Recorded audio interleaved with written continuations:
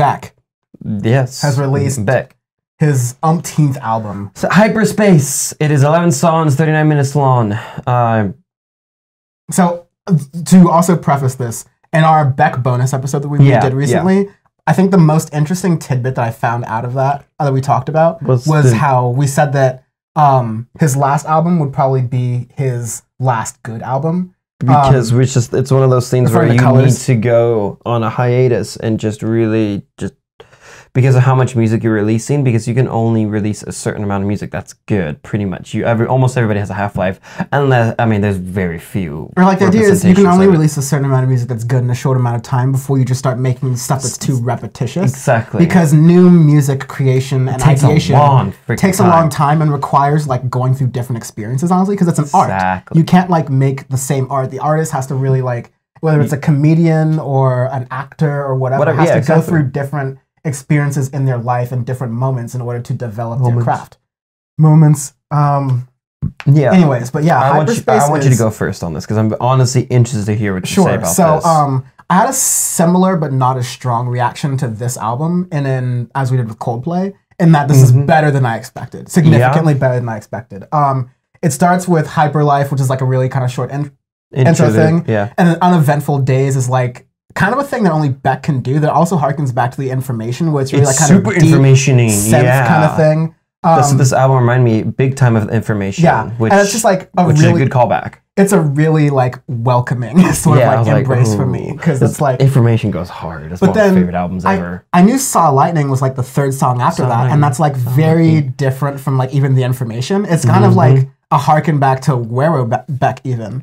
It's even It's, it's, like more it's, twangy, fun, is almost really like morning yeah. phase ish too. No, no, no, no, no. Saw Lightning. Oh, Well, Saw Lightning's not like morning phase at all because it's fast. obviously, but it's fat. But I'm saying it's in that acoustic-ish range of Beck.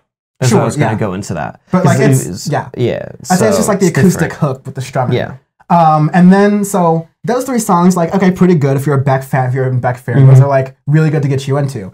And then we start with Die Waiting, which kind of just takes like a deeper sort of turn for Beck as well. And I was like, okay, this this this man Yeah. still old dog still got new tricks. And then we got to Chemical, which is might be one of my favorite tracks of the year. It's honestly. a very good track. Chemical is so with me. This album, it, I, I like Saw Lightning, Hyperlife, Uneventful Days, and Die Waiting. I could listen like this sounds like Beck, good Beck, but nothing like out of craziness. So I can kind of pass through. And then Chemical comes on, the same thing. I go, whoa, this is this is a very very good track.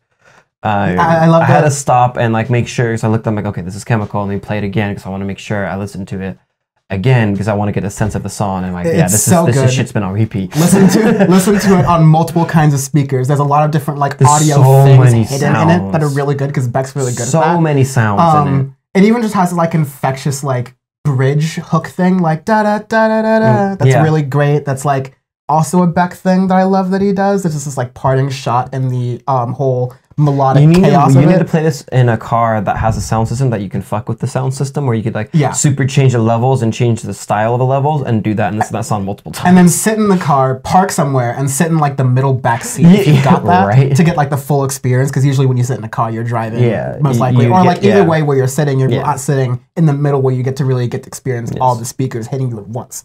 Um, but yeah, from there it's just like wow, what a what a track. Um, then you get to see through, which is okay. Hyperspace, which is features Terrell Hines, aka Pharrell Williams, Pharrell Williams, who's yep. producing it, and really. It was a fairly inoffensive Beck track still. Like it didn't feel too much like Pharrell. It had like a little bit of a twist to it, but I mean, it was a little a little less bleepy, so yeah, um, but like it didn't feel out of place for a Beck album, and no. that's one thing we said that Beck doesn't collaborate that much and hasn't on this album and still doesn't. does. Um, but it's he's one of those rare examples where I might give him the Sean passive. it's really hard slash impossible for Beck to make bad music. It is. I think I gen- after this album, he's got my stamp of approval of he's one of those five artists I know off the top of my head that can make music that's just you can't make bad music.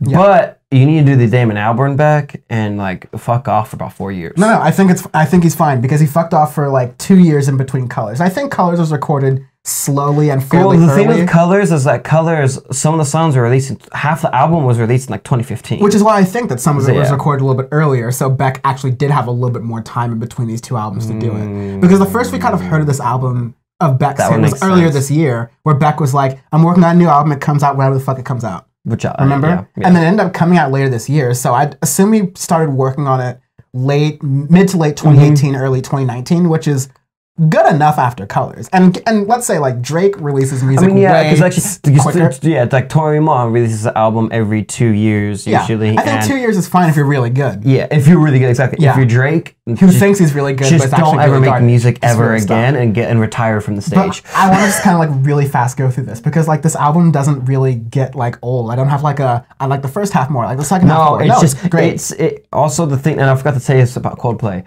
too. Um, these both these albums have a thing where every song fits together. Because I've done this before on Audioface, where it's, if it's a band I really like or if it's an album I really like, to to test it.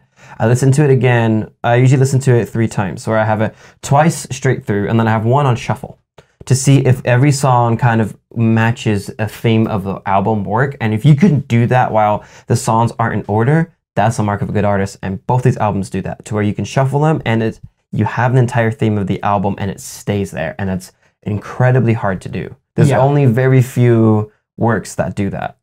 yeah, even through like the slower songs. And this is more of like Exactly. Beck's upbeat album. This is like, definitely upbeat compared. And but even it though the slower like- songs it holds up and then Yeah. once you get to dark places which is also like one of my favorite parts of the, of the album um it's just like you know the thing that's different from this beck album than another beck album is that it actually kind of feels like a little bit of that retro futurist flair almost that beck is going for Mhm. but it doesn't feel like like most retro futurism feels like it's kind of digging into the 80s too much like this like feels Muse. like yeah yeah, um this feels actually kind of like actually, the it- it's exploratory. futuristic. It's, like very Beck's take on it, but it's also yeah. exploratory. But it's- not experimental as in like weird and outbeat, and you'll like mm. think the drums are strange, but like it's No, not in- stuff you usually hear, or you have to go into like the weirdest like crate digging of alternative to find Yeah, it. this is definitely 2019. It's like, okay, you made a very different record, but it's good. It's Yeah. quite good. So, um, this is when two idiots decide to joust into Cybertrucks and they break all the windows on both Cybertrucks because they're like, Kia, bitch, because I've got nothing else better to do. And that's that. That's how many windows it is. So, what is that? 12 windows. This is um. This is a conservative MP in Parliament deciding to tear down two large London tower blocks, one with a Cybertruck on top of it, and one with a Toyota pickup from the 1980s. So destroying it, and not only the Toyota pickup truck actually drives out, the, the Tesla explodes because of the impact of the batteries. So um, This- the Tesla blows the fuck up. All, the, all like the windows flat- shatter. flat- Tesla flatbed. Dude, there's no Tesla left, dude.